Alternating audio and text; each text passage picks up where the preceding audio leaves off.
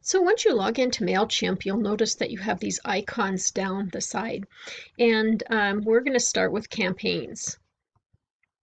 And of course, you can add a whole brand new campaign, but I suggest if you already have campaigns that you simply duplicate the campaign. So if you click here in the down arrow, click on replicate.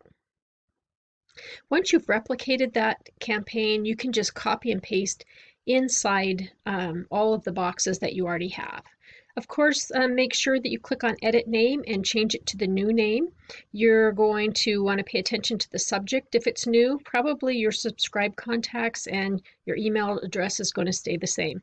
Then um, this edit design is really edit the content in general. It's not just the design, but also everything within that design. Once this pops open, you'll be able to see all of the blocks within yours and edit each block. So if I wanted to edit this block, I click on that block and it's going to pop up over here on the right hand side, which is the editor side. And I can simply highlight and delete or copy and paste over the top. You'll notice that you'll have your basic editors here. And then when you're finished with this block, you can click Save and Close and then just click down as you go.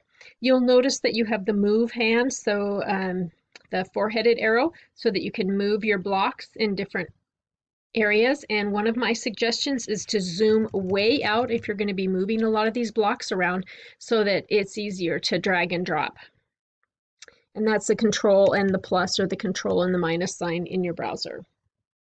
So you can edit, you can move, um, you can even duplicate the block if you like the look and the feel of the block.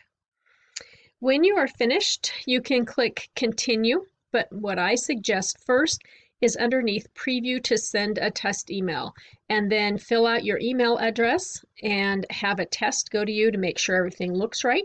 And then when you're finished, you click continue and you can either schedule when you want this to be sent or you can send it right now. Pay one more attention to all of these details, again, especially this edit name, before you click send and your campaign's on the way.